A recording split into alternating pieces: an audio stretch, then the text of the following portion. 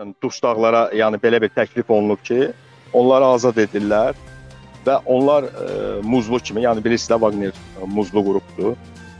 Aylıq məvaciblə və öldü öldükləri halda ailələrinə 5 milyon rubl deyəsən ə, kompensasiya verilir.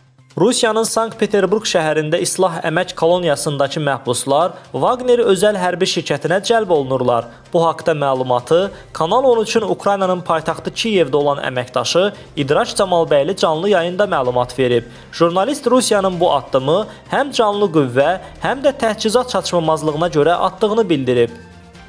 Məhbusların Wagner qruplarına cəlb olunması haqqında Rusiyanın Sankt-Peterburq şəhəri islah əmək koloniyasındakı məhbuslar Wagner özəl hərbi şirkətlərinə cəlb olunurlar. Bu məlumat haqqında nə deyə bilərsiniz? Ətraflı məlumat Bəli, verə bilərsiniz? Sankt-Peterburqda yerləşən İslah düşərgəsində yerləşən dustaqlara, yəni belə bir təklif olunub ki, onları azad edirlər və onlar ə, muzlu kimi, yəni birisi də Wagner muzlu qrupdur.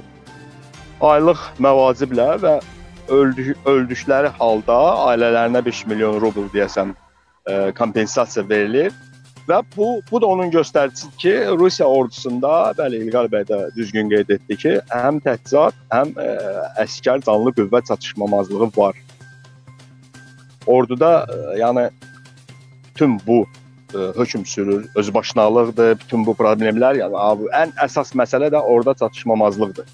Məhz buna görə də orada kursantları yığırlar, məcburi insanları yığıb gətirirlər. İndi də son addım kimi artıq dustaqlara keçiblər.